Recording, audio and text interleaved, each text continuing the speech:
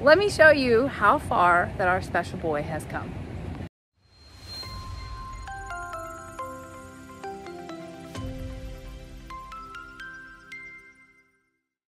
Lester and I are coming home, and I do believe that I just caught Storm standing in the sprinkler. This girl is such a water baby. Look at her. Rita's over there with her. They're both sprinkled on. Good for them. Hi, baby. She really is. She's standing right underneath the sprinkler. Her bird friends. Yeah, she got a lot of friends today. Now that is a smart horse. Almost in the shade. Her front half is in the shade. Getting sprinkled on. Don't forget Rita. And Rita is all the way in the shade, getting sprinkled on. Living the good life. Now, Bucky's, you can barely see this. But Bucky's in pond. He's like, guys, I don't really like it to hit me like that. I just want to go all in. Oh, that makes my heart so happy. Now the donkeys, they'll, they'll be here for like moral support, but ain't nobody getting wet at all. Hi, Bucks. Hi, buddy. Hi, Ivy. Hi, Ima. Hi, Bevy. Hi, Danny boy. You ready for dinner? Yeah? Okay, I'm coming. I'm coming.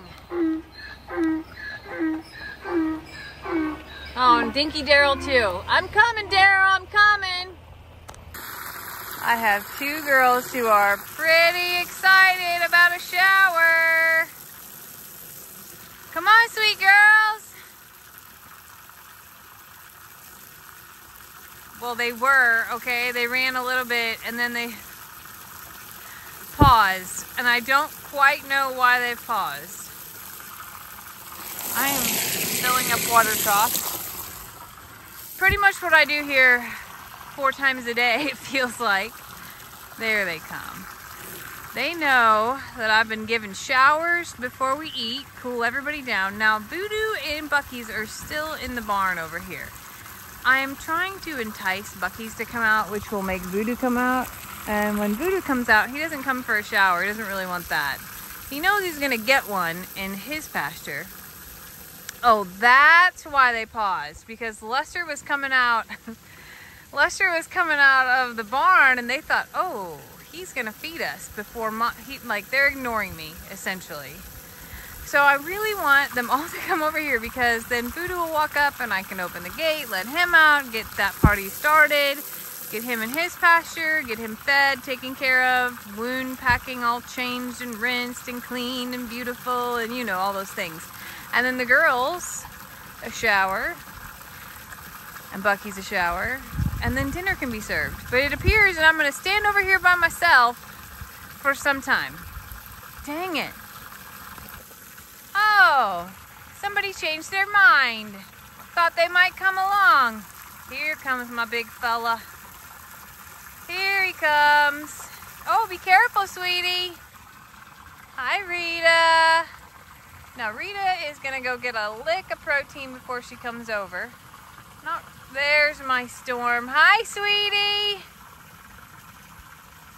Come on, Boo, let's go. Come on, sweet girl. She's like, but you're filling up waters. You're not ready to spray anybody yet. You haven't finished your job. And there's Bucky's. Okay, okay, this is gonna happen. Do you want Mama to give you a bath real quick? Come on over. Hi, beautiful.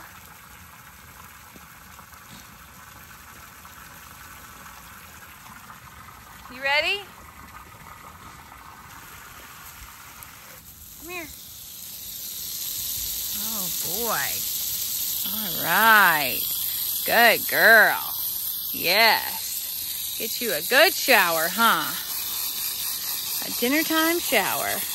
And then you know what comes? Dinner time. Oh, you're out of breath. It was a hot day, huh? It's so hot you have a fly on you.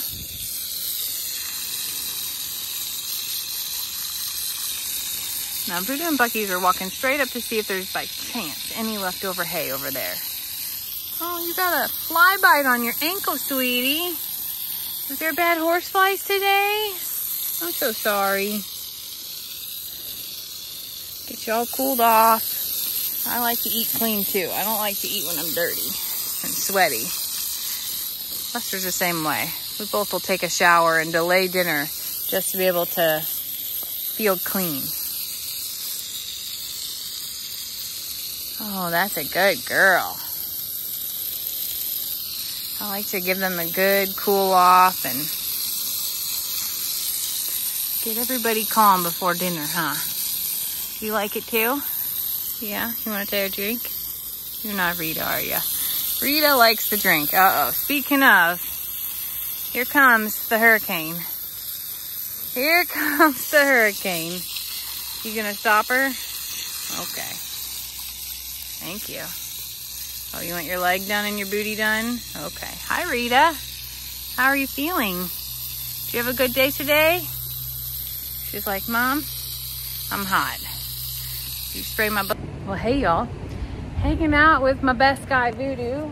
Just got done cleaning out his wound and realized, well, number one, I'm filthy. So is he. So is he. Uh, in the evenings, I bring him back over to eat. Today, I'm letting him eat here so that I could do a little bit of videoing. Let me show you how far that our special boy has come. So I'd like to note that his flexibility of being able to get all the way to the ground and graze and eat, and he is eating some soaked grain right now, which is why it looks mushy. Uh, we're still taking precautionary measures against choke, so that's really important to us. But the wound itself, and I'm gonna preface this with saying, if you have sensitive stomach or, or you're sensitive to wounds and things, this is your point where you should skip for the next couple of minutes. But I have to show you the progress we're making because we're down to a, an incision that is this wide and is only finger width deep and it will not, it'll only go finger width opening, I should say, and only as deep as my knuckle. When he came home from that hospital, or when the injury happened, it was two fists deep. Two fists. I want you to look now. That's it. That's what we're left with. This tiny little space right here. And it is slowly, slowly healing on both sides. He's got his routine down pat. So in the mornings we clean and then he able he's able to go and graze with the rest of the horses all day. I rinse it out at lunchtime when I give everyone else a, a shower off. He eats green hay for breakfast with his friends. And the evening he comes back and normally I do his wound care and then we go to the pasture, but today we stuck around up here. He does have a little bit of a bobo still here from where this split. I put sunscreen on it every day. The sunscreen is what's causing the gunkiness on his face, but it's keeping him from blistering up and losing all of his hair. I am proud of Voodoo and his recovery. Both his physical and mental recovery is just remarkable. When I think about we're at three and a half weeks from the incident, how far that he's come, I'm just like, I don't know. I get really emotional because when he started, y'all, his wound was from here to down to here. And when I tell you it was deep, I mean, you, I could see his heartbeat, literal heartbeat. Now we still have to keep up this routine for probably a couple more weeks until the inside completely heals, but Voodoo's a warrior and a survivor. And I'm so proud of him for being able to work through all of this while everything else is going on. And I think about often about how the world doesn't stop for him. The days just stay the same. You need to go. Okay, you're you're you're tied up there a little bit. You don't have to stay with your head down the whole time. I'm gonna switch him to the pasture to give him some water to drink in between. Okay, we're back in business. But look at how clean it looks. Now, it is a little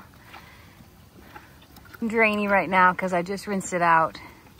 The actual wound itself is now like the shape of a boot, with this being like the back wall of the boot, meaning that it has a tiny little indent down here at the bottom. And I called Dr. Cochran and A&M about that because I was like, hey, it could pull up right there because it's actually, you know, it's a little bit deeper. And they both said that when he bends down to graze, that it will all drain out forward. And he's not like a human where he's sitting upright all the time and we have to worry about that.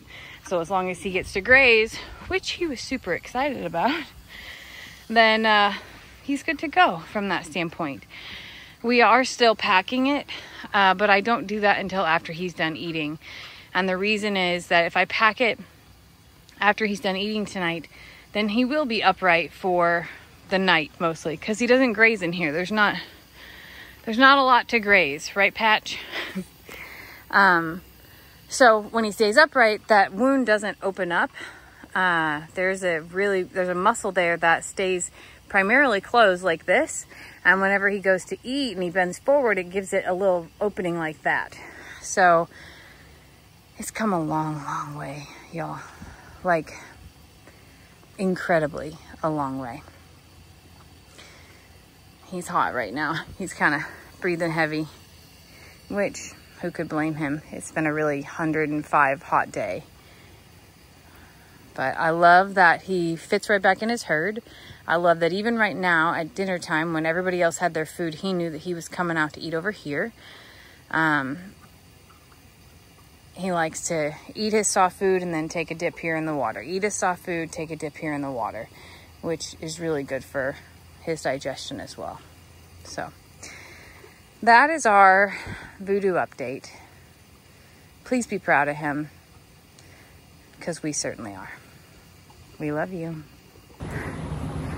You're gonna think this is funny, but I am embarrassed to admit that I thought I was recording an entire bath of voodoo and uh, I got soaked and disgusting. Voodoo got an almost full bath. The only thing I couldn't get was certain parts of his face. He just, he was done at that point in time, but he's eating. They're eating, the littles are eating, the ostriches are eating, and now these guys would like to eat. Production, check. Dirt everywhere, all over me, check. Thanks for helping me do chores.